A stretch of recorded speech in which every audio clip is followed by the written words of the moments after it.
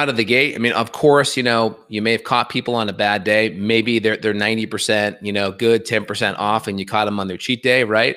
But odds are that's probably not the case, but we have patients that are really good and may have a bad day every now and then. So, hey, fine. If you're doing great and you're on point and you're in great health and you want to cheat every now and then, I always recommend try to choose the the least damaging cheat possible, right? That probably isn't the best example of that. Uh, but in general, food plays a major role, right? Because food's going to have the nutrients to run your immune system, right? Our fat soluble vitamins are antioxidants, you know, zinc, magnesium, selenium, all play major roles with the immune system. Um, our antibodies are made from protein. So if you're not getting and digesting good protein, you're not going to be able to make good antibodies for your Th2 immune response.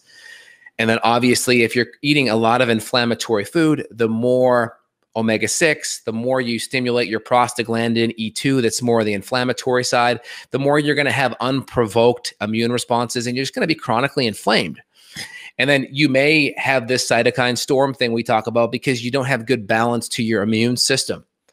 And so, also on top of that, right, um, we know how much carbohydrate, especially refined processed carbohydrate, it feeds a lot of bad bugs. So, if you have a lot of fungus overgrowth, yeast overgrowth, um, bacterial overgrowth, these bugs prefer the refined processed foods, right? It's going to just be easier to digest, easier to feed them. And so you're going to create overgrowths like that. And these bad bugs obviously produce other types of toxins in your body, right? Bad bugs eat your nutrients and poop poop. And then instead versus eating your poop and, and producing nutrients, right?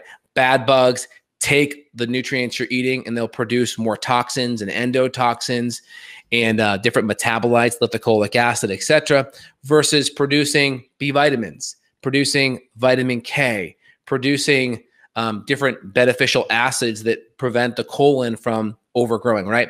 Probiotics, acidophilus literally translates to acid loving. And so good probiotics actually produce and lower the pH in the intestinal tract, which actually makes it harder for bad bugs to grow, right? Bugs tend to prefer a more alkaline type of um, environment to actually grow in the lower intestines.